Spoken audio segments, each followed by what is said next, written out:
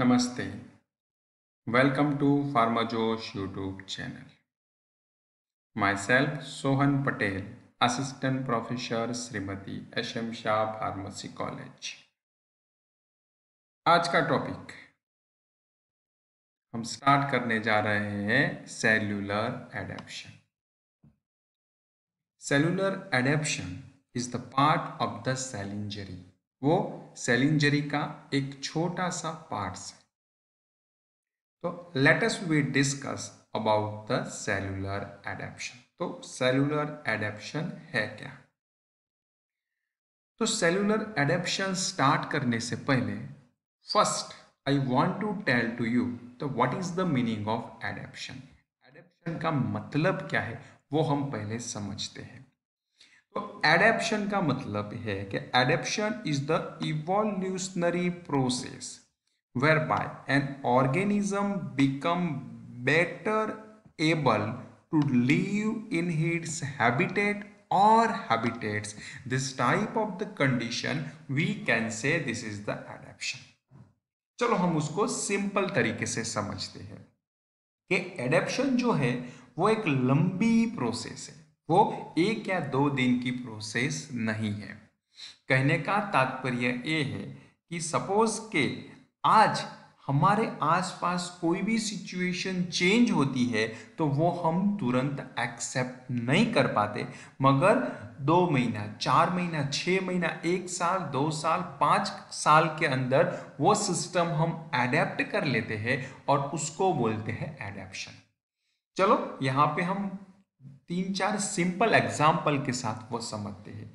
ये जो पहला एग्ज़ाम्पल यहाँ पे दिया गया है, वो एग्जाम्पल्स है डेजर्ट के अंदर जो एक प्लांट होता है, उसका एग्ज़ाम्पल है।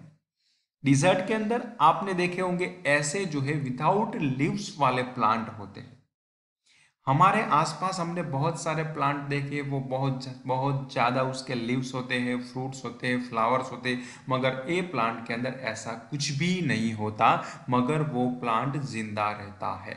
डिजर्ट के अंदर पानी भी बहुत कम होता है और without water this plant can live तो कहने का मतलब बहुत सालों बाद धीरे धीरे धीरे धीरे धीरे धीरे उसने वो एटमोस्फियर अडेप्ट कर लिया और वो वहाँ पे ज़िंदा रह पाया दूसरा जो यहाँ पे एग्ज़ाम्पल है, वो कैमल का है।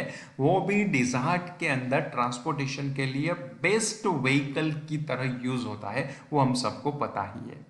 Why we are using the camel क्योंकि कैमल के अंदर और कैमल ने ऑलरेडी ऐसी एक सिस्टम अपने अंदर एडेप्ट कर ली है।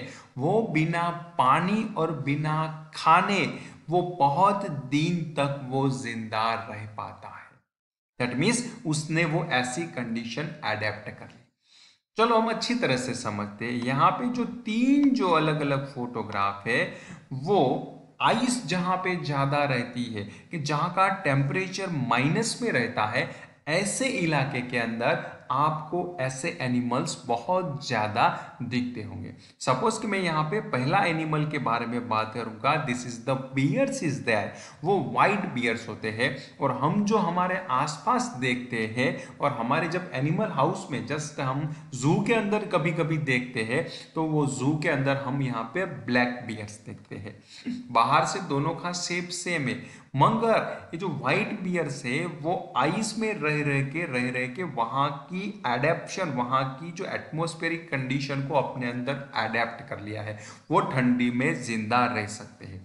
मगर हमारे बियर्स को वहाँ पे लेके जाए तो शायद एक महीने या पंद्रह बीस दिन के अंदर उसकी जान जाने की मीन्स डेड होने की पॉसिबिलिटी है। Because of the this bears can not be adapt the situation वो वहाँ की सिचुएशन एटमोस्फेरिक कंडीशन को एडेप्ट नहीं कर पाएगा। और वहाँ के बियर्स हम यहाँ पे लेके आएँगे तो यहाँ की एटमोस्फियर जो हॉट एटमोस्फियर है, वो एडेप्ट नहीं कर पाएगा। कहने का मतलब ये है कि कोई भी एनिमल्स और कोई भी प्लांट ऐसे एटमॉस्फेयर के अंदर रहेगा और वहाँ की एटमॉस्फेयरिक कंडीशन को अपने अंदर मीन्स वो एडेप्ट वो स्वीकार लेगा और वहाँ पे ज़िंदा रह पाएगा। ऐसी कंडीशन को हम बोलेंगे एडेप्शन तो चलो इसी के साथ latest we continue with the cellular adaptation cellular adaptation क्या है? तो जस्ट एडेप्शन का मतलब तो हमको समझ में आ गया कि सराउंडिंग कंडीशन चेंज होने की वजह से और वो कंडीशन चेंज होती है और उसके साथ हम अपनी बॉडी को एडेप्ट कैसे कर पाए, वो कंडीशन को हम बोलते हैं सेलुलर एडेप्ट सॉरी एडेप्शन अभी हम बात करें सेलुलर तो सेलुलर में भी थोड़ा बहुत कुछ ऐसा ही है कि सपोज़ के सेल के आसपास ऐसा कुछ हो जाए और उसकी वजह से सेल को और सेल को ज़िंदा रहना होगा तो मस्ट शुड बी चेंज उसके स्ट्रक्चर को उसको चेंज करना पड़ेगा, उसके शेप को उसको चेंज करना पड़ेगा। ऐसी जो कंडीशन को हम बोलते हैं सेल्यूलर एडेप्शन तो चलो यहाँ पे हम समझते हैं क्या है।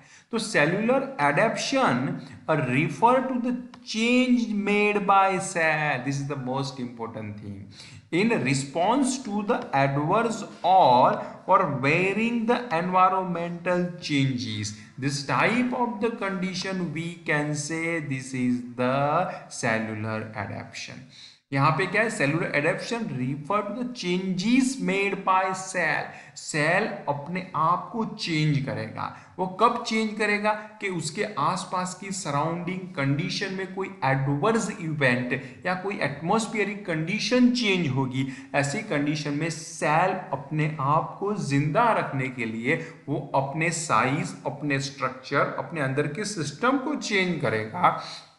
ऐसी जो प्रोसेस को हम बोलते हैं सेल्यूलर एडेप्शन तो let us be discuss in detail जो सेल्यूलर एडेप्शन जो होते हैं, वो मेनली दो तरीके के होते हैं. फ़र्स्ट जो है, वो फिजियोलॉजिकली सेल्यूलर एडेप्शन वो नॉर्मली जो होता है.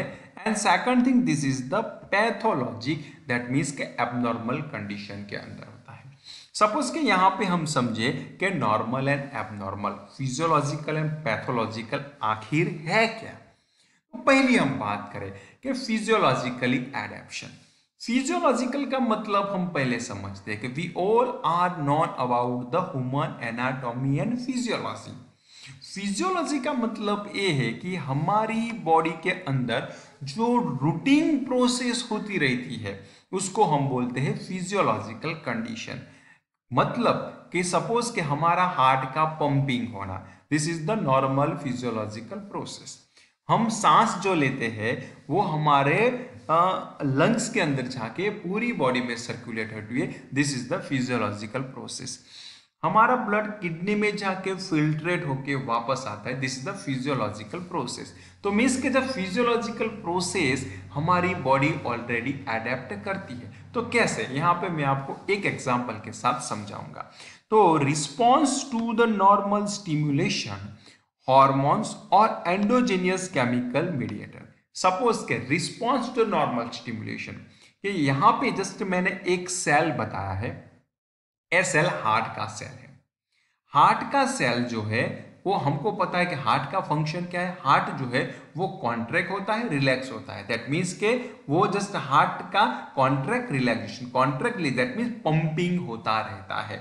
तो जस्ट यहाँ पे देखिए कि ये जो कंडीशन वो अन अनकॉन्ट्रैक्टेड सेल है और यहाँ पे हम देखें this is a contracted cell is there कहने का मतलब ये है कि हमारे बॉडी में से ऐसे हॉर्मोन्स और ऐसे एंडोजेनियस केमिकल्स मीडिएट रिलीज़ होते रहते हैं। एग्ज़ाम्पल इज़ एड्रीनालिन वो हार्ट के साथ बाइंडिंग होते हैं और हार्ट के मसल्स को कॉन्ट्रैक्ट करते हैं।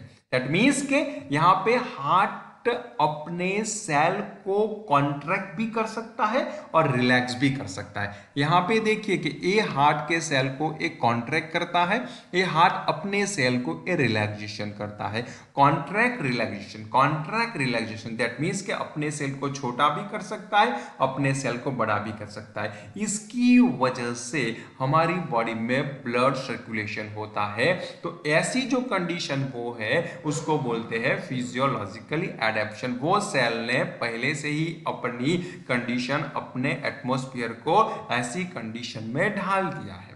तो this is the adoption type of the condition is the physiological adaptation दूसरी जो बात करें यहाँ पे पैथोलॉजिकल एडेप्शन का मतलब क्या है? पैथोलॉजिक दैट मीन्स के डिसीज कंडीशन, कि हमारी बॉडी के अंदर unwanted thing are that become happening जो अनवांटेड जो रेगुलर नहीं थी, ऐसी कोई चीज़ होती है, ऐसे केस में वो सेल को वो भी कुछ अडेप्ट करना पड़ता है। तो यहाँ पे जैसे कि एग्जांपल्स मैंने दिया है तो response to the stress is to escape the from the injury suppose कि कोई एक सेल्स है हमारी बॉडी का सपोज़ के हाथ का कोई सेल है हमारी बॉडी का तो वो सेल जो है, वहाँ पे कहीं पे उसको कट हो जाएगा। कट होने की वजह से वो कंडीशन को हम बोलते हैं इंजरी और ऐसी कंडीशन में सेल को वो उससे बचने के लिए और उसको जस्ट ज़िंदा रखने के लिए वो सेल को वो कंडीशन को अडेप्ट करेगा और वो कंडीशन को अडेप्ट करके धीरे धीरे धीरे धीरे वो रिकवर करेगा, उसको बोलते हैं पैथोलॉजिकल एडेप्शन तो यहाँ पे देखें तो एज यहाँ पे देखिए नॉर्मल सेल है। ए नॉर्मल सेल को कुछ हुआ। सपोज़ कि यहाँ पे उसने मधुमक्खी ने काट लिया। That means bees a bite to the cell उसकी वजह से क्या होगा? वो सेल इंजर हो गया और उसकी वजह से वो सेल को इंफ्लामेशन होगा, जो जैसे हमको पता ही है। इंफ्लामेशन होगा तो मगर वो इंफ्लामेशन होने की वजह से सेल के अंदर का पूरा स्ट्रक्चर जो थोड़ा बहुत चेंज हो जाएगा। वो चेंज क्यों करता है? सेल के वो बाहर से जो पॉइजन्स आए, उसके सामने प्रोटेक्ट होने के लिए सेल अपना स्ट्रक्चर चेंज करता है। और धीरे धीरे वो पॉइजन का असर कम होगा। ऐसे ऐसे वो रिवर्सिबल इंजरी के बाद फिर से वो सेल धीरे धीरे धीरे नॉर्मल स्ट्रक्चर की ओर चला जाएगा और बाद में वो once again that convert into normal तो जस्ट ऐसी जो कंडीशन में बोलते हैं पैथोलॉजिकल एडेप्शन कि मीन्स कोई डिसीज या कोई प्रॉब्लम हो, तभी सेल अपना स्ट्रक्चर चेंज करता है, उसको बोलते हैं पैथोलॉजिकल एडेप्शन यहाँ पे देखिए हम तो सेलुलर एडेप्शन जो है, वो मेन फोर बेसिक्स टाइप्स के होते हैं सेल के अंदर। पहली जो बात करें this is the hyperplasia दूसरी जो बात करें हाइपर ट्रॉफी तीसरी एट्रॉफी एंड चौथी जो बात है दिस इज़ द मेटाप्लेसिया तो let us we discuss first one hyperplasia. वो नाम से ही कुछ पता चलता है हाइपर। मैं पहले यहाँ आपको सीधा डायग्राम के साथ बताता हूँ। यहाँ पे आप देखिए this is the normal structure of cells यहाँ पे उसका अरेंजमेंट है। मगर जस्ट हाइपरप्लेसिक कंडीशन में क्या होता है कि यहाँ पे जो सेल के जो नंबर थे, वो सेल नंबर इज़ इंक्रीज हो जाते हैं, क्योंकि वो अपने आप को एटमोस्फियरिक कंडीशन से बचाने के लिए। ऐसी जो कंडीशन में बोलते हैं हाइपरप्लेसिया तो हाइपरप्लेसिया और the hypergenesis is an increase in the amount of the organic tissue that resulting from the cell proliferation and it may lead to the gross enlargement of an organ उसी time organ की size थोड़ी increase हो जाती है, जो हमने आगे वाले एग्ज़ाम्पल में देखा था कि 20 बाइट होने की वजह से। दूसरी जो बात करें हाइपरट्रॉफी हाइपरट्रॉफी का मतलब क्या है? The enlargement of an organs और the tissue from the increase in the size यहाँ पे सेल की साइज़ इंक्रीज हो रही है। सेल के नंबर इंक्रीज नहीं हो गए ऐसी जो कंडीशन को हम बोलते हैं हाइपरट्रॉफी तीसरी जो बात करें एट्रॉफी एट्रोफी का मतलब क्या है? Atrophy is the defined at the decrease in the size of the tissue और organ due to the cellular shrinkage means के यहाँ पे देखिए ए नॉर्मल सेल का स्ट्रक्चर है।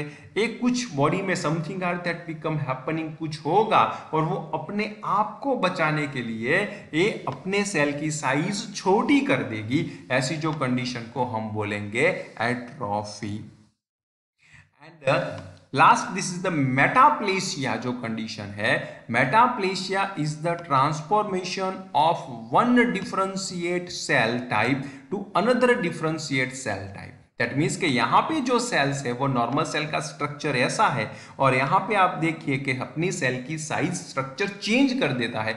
ऐसी कंडीशन को हम बोलते हैं मेटाप्लेसिया कभी कभी वो डायस्प्लेशिया भी बनाता है सेल तो dysplasia is the broad term that refer to the abnormal development of the cell within the tissue और ऑर्गन्स ऐसे सेल को डायस्प्लेशिया बोलते हैं. That means normal cell is there और यहाँ पे आप देखिए कि वो सेल को अपने ही सेल को स्ट्रक्चर चेंज करके अलग अलग तरीके से अरेंजमेंट करेंगे. ऐसी कंडीशन में हम बोलेंगे उसको डायस्प्लेशिया तो यहाँ पे आप एक ही स्लाइड में देख सकते हैं कि मीन्स के जो normal cell atrophy hypertrophy hyperplasia metaplasia and dysplastic type of the arrangement thank you very much for watching फार्माजोस YouTube channel.